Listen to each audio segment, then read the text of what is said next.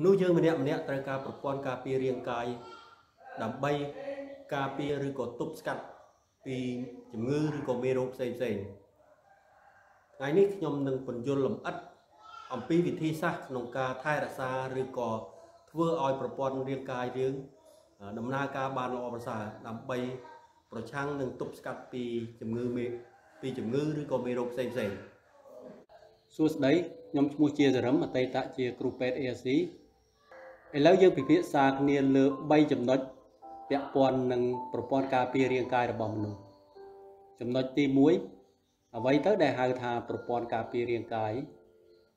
ចំណុចទី2អ្វីដែលធ្វើឲ្យប្រព័ន្ធរាងកាយរបស់យើងចុះខ្សោយទី3វិធីសាស្ត្រក្នុងការពង្រឹងប្រព័ន្ធរាងកាយរបស់យើងឲ្យមកដំណើរការបានល្អប្រសើរប្រព័ន្ធការពាររាងកាយរបស់មនុស្សប្រៀបបានទៅនឹង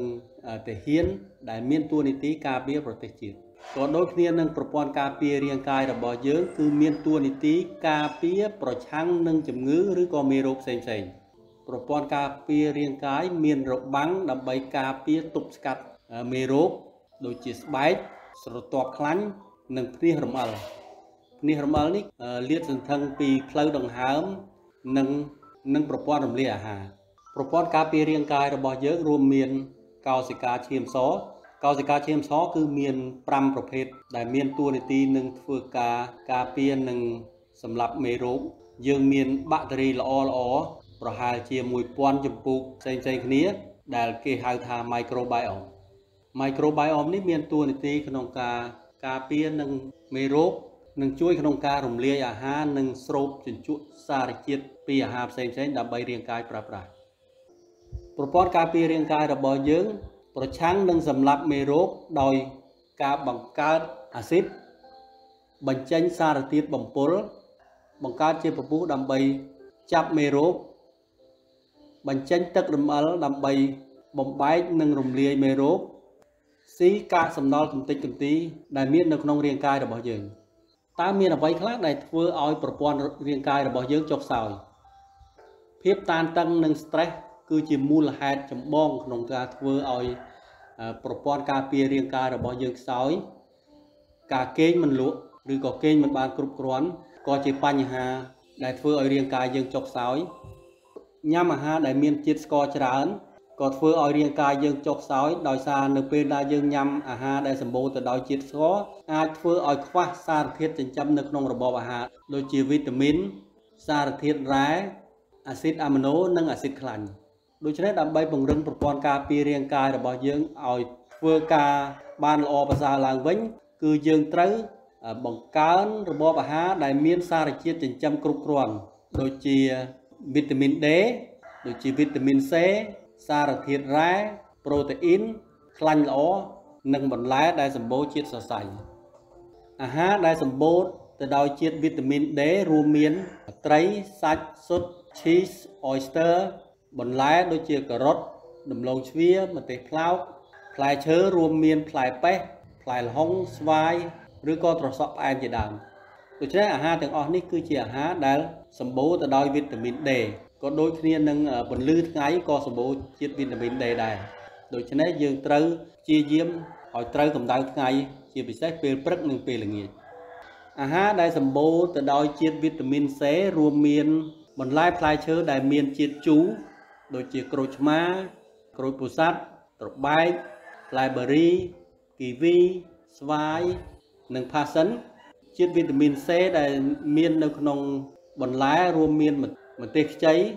ម្ទេសផ្លោកដំឡូងស្ពៃក្តោបផ្កាខាណាឬក៏អាហារផ្អាប់ដូចជាជ្រក់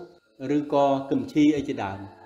អាហារផ្អាប់នេះគឺសំខាន់ណាស់សម្រាប់រាងកាយយើងក្នុងការទទួលទានដើម្បីទៅចិញ្ចឹមមេរោគល្អនៅក្នុងពោះវៀនរបស់យើងអាហារដែលសម្បូរទៅដោយជាតិប្រូតេអ៊ីនដើម្បីពង្រឹងប្រព័ន្ធការពាររាងកាយរបស់យើងរួមមានសាច់ដូចជាសាច់គោសាច់ជ្រូកមាន់ទាត្រីសុទ្ធគ្រាប់ធញ្ញជាតិផ្សេងផ្សេងផលិតផលពីទឹកដោះគោរួមមាន beurre cheese cream ឬក៏ yogurt តើតើខ្លាញ់ល្អមានអ្វីខ្លះសម្រាប់ធ្វើឲ្យប្រព័ន្ធការពាររាងកាយរបស់យើងរឹងមាំអាហារដែលសម្បូរខ្លាញ់ល្អរួមមានខ្លាញ់សត្វគ្រប់ប្រភេទដូចជាខ្លាញ់ជ្រូកខ្លាញ់ត្រីប្រេងអូលីវប្រេងដូងឬក៏ប្រេងប៊ឺឬក៏ beurre cheese cream និង yogurt បន្លែដែលសម្បូរទៅដោយជាតិសរសៃដូចជាប៉ីប៉ីបូកូផ្កាខាត់ណាទេសខ្លោកសណ្ដែកការ៉ុតត្រប់ការ៉ុតនិងត្រប់ជាដើម ដូច្នេះដើម្បីពង្រឹងប្រព័ន្ធការពាររាងកាយរបស់យើងយើងត្រូវកាត់បន្ថយស្ករជាពិសេសអាហារកែច្នៃផ្សេងផ្សេងដែលធ្វើឡើងពីម្សៅនិងស្ករយើងត្រូវកាត់បន្ថយគ្រឿងស្រវឹងផ្សេងផ្សេងកាត់បន្ថយឬបញ្ឈប់ការជក់បារីយើងអាចពង្រឹងប្រព័ន្ធការពាររាងកាយយើងឲ្យបានធ្វើការល្អប្រសើរដោយទទួលទានដំណេកឲ្យបានគ្រប់គ្រាន់ពី6ទៅ8ម៉ោងក្នុងមួយយប់បំបត្តិភាពតានតឹងឬក៏ stress ដោយការធ្វើសមាធិ ការលំហាត់ដកដង្ហើម ការលំហាត់ប្រាណតាមបែប yoga ឬក៏ការលំហាត់ប្រាណផ្សេងផ្សេងដូចជាដើរជាដើមដូច្នេះមុននឹងបញ្ចប់ខ្ញុំសូមសង្ខេបឡើងវិញការពង្រឹងប្រព័ន្ធការពាររាងកាយរបស់យើងឲ្យមកដំណើរការបានល្អប្រសើរបង្កើនរបបអាហារដែលមានសារធាតុចិញ្ចឹមគ្រប់គ្រាន់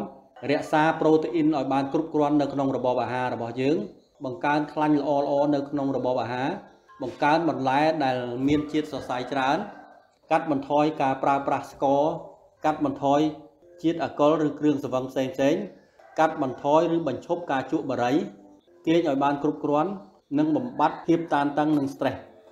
ដូច្នេះសម្រាប់ថ្ងៃនេះគឺខ្ញុំមានចំណេះដឹងប៉ុណ្ណឹងចែករំលែកបងប្អូន ដើម្បីទទួលបាននៅប្រព័ន្ធការពាររាងកាយដ៏រឹងមាំទប់ស្កាត់និងប្រឆាំងជំងឺផ្សេងៗបាទសូមអរគុណ